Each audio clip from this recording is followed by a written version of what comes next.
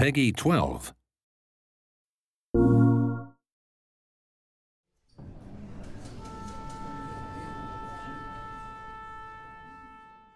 This shield was a special one indeed, for within it still dwelled the power of the moon goddess's knight, he whose valiant struggles ended in tragedy.